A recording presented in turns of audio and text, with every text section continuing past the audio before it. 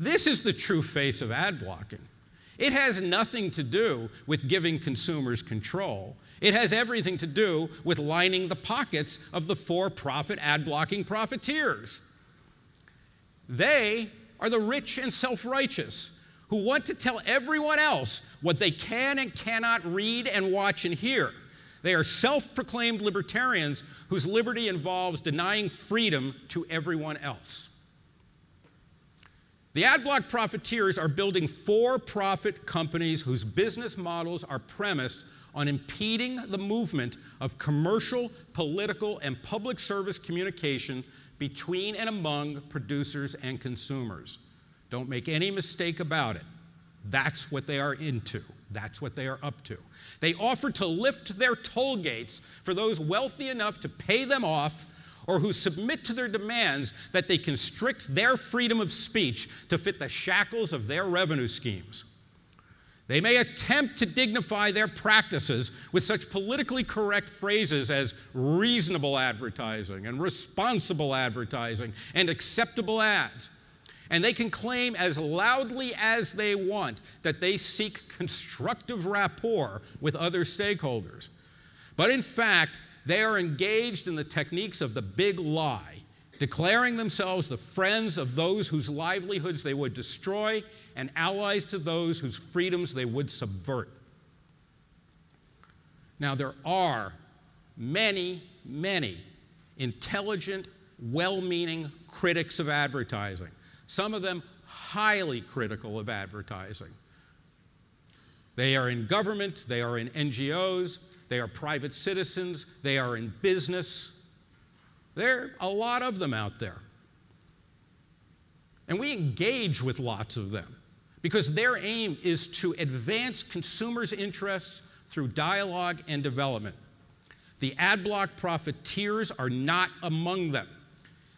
The ad block profiteers cloak themselves in a Halloween mask of consumerism as they attempt to impose private taxes on businesses and consumers alike.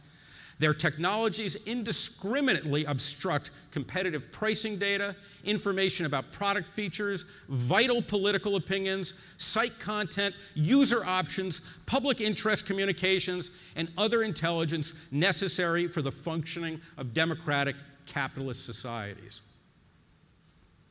Surveys repeatedly show, all surveys on the subject repeatedly show that upwards of 75% of consumers prefer ad supported internet sites where the content is otherwise free over ad free sites where they would have to pay fees for content. Fewer than 10% of consumers want to pay for content. By driving digital publishers, including some of the most prestigious news organizations in the world, to impose fees on consumers in order to continue to support their business and content development objectives, the ad block profiteers are clearly subverting the will of consumers. So, where is the good news in all this? There is good news, and actually a lot of it. Well, first, in their race to the bottom and their frenzy for investment, the ad block profiteers are much more intent on killing each other than on killing advertising. That's why they're engaged these little tiny whiny startups engaged in so much op-edding around the world. They're competing for VC and angel investment. They're desperately trying to find strategic acquirers. They need to feed their business model. And by the way, they need advertising. Because without advertising, they don't have a business model. Many of their business models are undoubtedly illegal. Already, Shine, the Israeli startup, its model of ISP level ad blocking has been cited by regulators as a probable violation of net neutrality principles. Another piece of good news more and more publishers are initiating what IAB calls detection, notice, choice, and constraint regimes. They're installing scripts that enable them to see when consumers coming to their sites have ad blockers installed.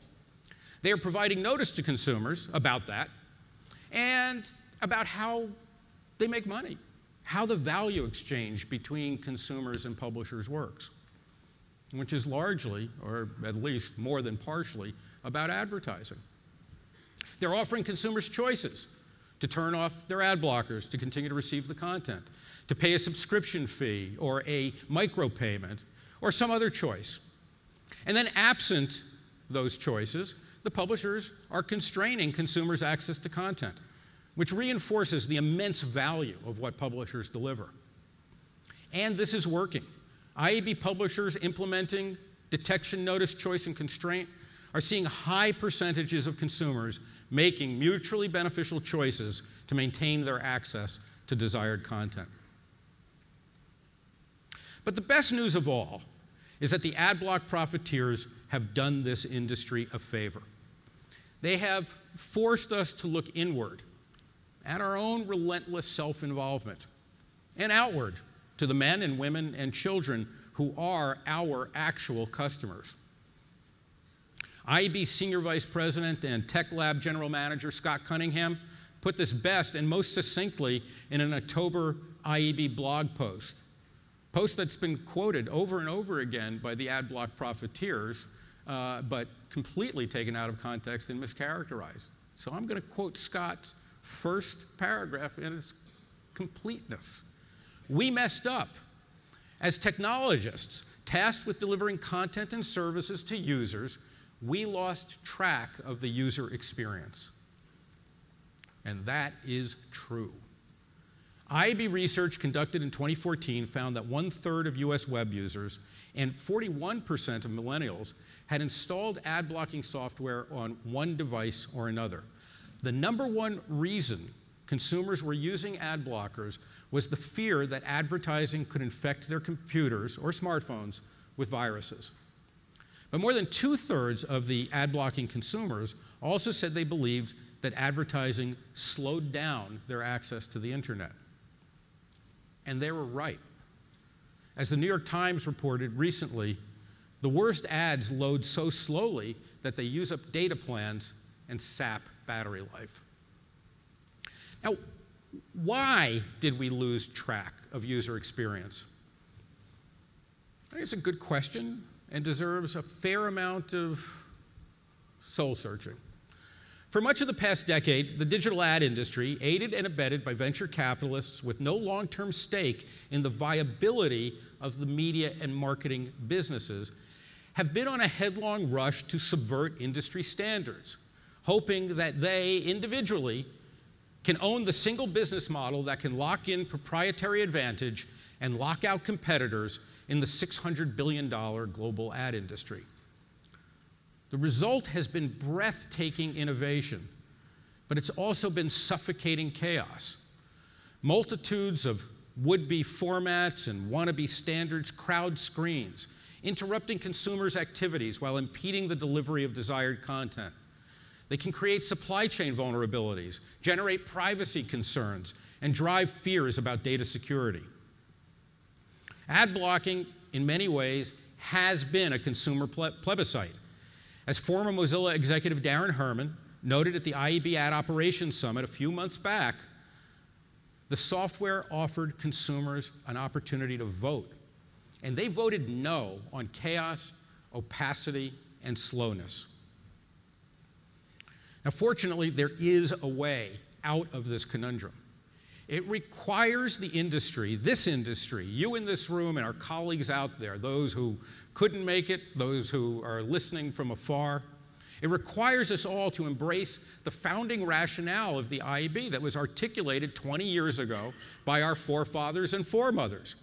We must create significant new operating standards, consumer friendly rules of the road that regulate, that self regulate how we will operate our sites, our advertising, and our delivery and we must develop technical standards that will realize these guidelines effectively and efficiently. This will not be easy. Unlike every other major medium, the internet is a collectively owned and managed enterprise, whereas a broadcast television network controls pretty rigidly and maintains rigorous standards for everything a consumer sees on that television channel. An internet page is a cobbled together assembly of parts managed by perhaps dozens of independent businesses, each one contracted individually by the publisher, by agencies, by marketers, and others. Some of these entities supervise the content you see, some administer and analyze the invisible data that governs, measures, and optimizes how and to whom the content is delivered. This decentralized cauldron of innovation requires a new set of guiding principles. This is why the IAB and the IAB Tech Lab developed the LEAN principles. LEAN stands for advertising and ad operations that are light, encrypted, ad choices supporting, and non invasive. We believe lean will be as important to the future of the digital advertising industry as the first IAB Universal Ad Package was to the industry's creation.